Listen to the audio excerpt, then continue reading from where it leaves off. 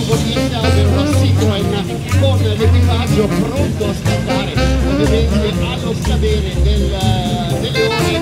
29